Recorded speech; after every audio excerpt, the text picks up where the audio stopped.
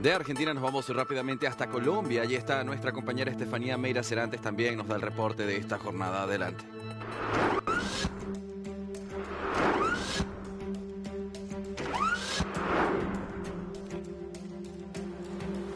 Hola Andy, ¿cómo estás? Feliz tarde para ti. Hoy te saludo desde el cementerio Parque Serafín, en la localidad de Usme, al sur de la capital, la salida al departamento del Meta. Te cuento que aquí hay una noticia, una denuncia gravísima que hace la personería de Bogotá y es que faltan bóvedas en los cementerios distritales. En este momento estoy con el personero de Bogotá, el señor Andrés Castro Franco. Personero, es un gusto tenerlo con nosotros a esta hora en estos micrófonos y pantallas de D-News. Contémosle a los televidentes de América Latina qué sucede en los cementerios distritales.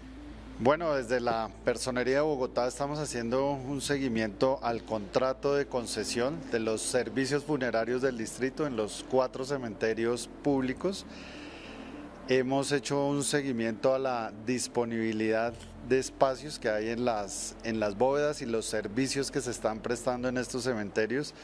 Tenemos un seguimiento que lo hemos hecho con la información de la UAS y hoy nos encontramos aquí en el cementerio Parque Serafín haciendo trabajo de, verificación y de campo para poder eh, analizar cuál es la situación real que se está presentando en este cementerio y vamos a hacer la visita a los otros cementerios con el ánimo de poder tener claridad.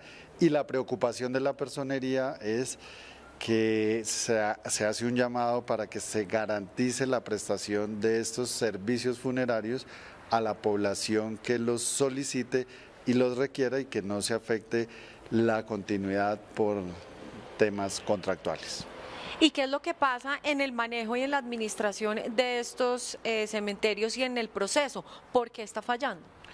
Bueno, es un tema que se ha venido analizando el primer tema sobre el cual llamamos la atención es las vías de hecho que se han tomado, el cierre de estos cementerios durante algunos días, que eso ha afectado la prestación del servicio y es uno de los temas que nos, nos preocupa.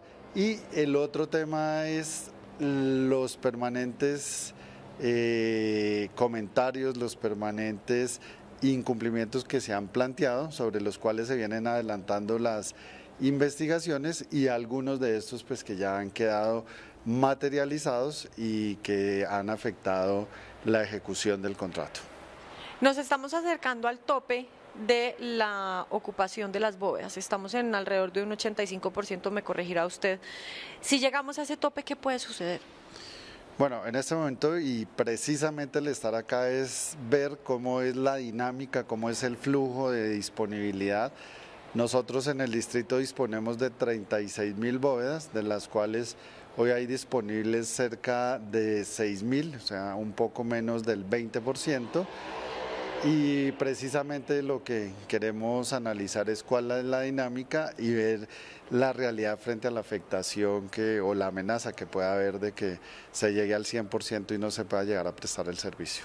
¿Qué va a suceder con los NNs o los párvulos? Porque las bóvedas para la gente sin nombre y que no han sido reconocidos, o sea, sí tienen nombre, pero no han sido reconocidos, eh, están 100% ocupadas. ¿Qué pasa con ellos?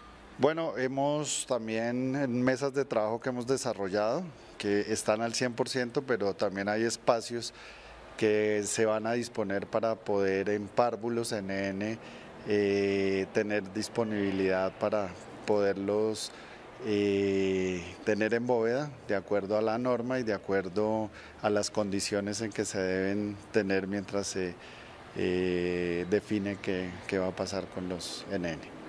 Usted y yo estamos hablando en términos muy técnicos. Eh, en medio de este proceso, que diría yo es el más doloroso cuando un ser querido fallece, el, trámite, ¿no? las familias son las principales afectadas porque anexo a que ya se les murió un familiar, pues eh, llega todo el trámite de no tener dónde, dónde dejar sus restos. ¿Han hablado con sus familias? ¿Han hablado con las familias, pues?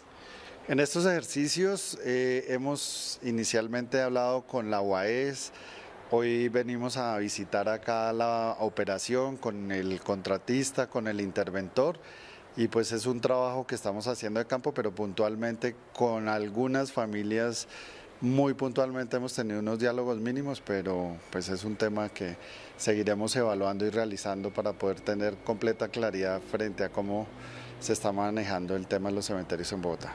Pues muchísimas gracias por estas palabras, personero de Bogotá, Andrés Castro Franco, por haber estado con nosotros. A ustedes, muchas gracias y un saludo muy especial. Bueno, Andy, nosotros seguimos contigo en estudio, eh, remarcar que es un tema muy sensible para muchas familias, pero que bueno, aquí como pudiste ver en las palabras del personero de Bogotá, el distrito se está ocupando de esto para que no se vuelva un problema mayor. Vuelvo contigo, Andy, a estudio con más noticias.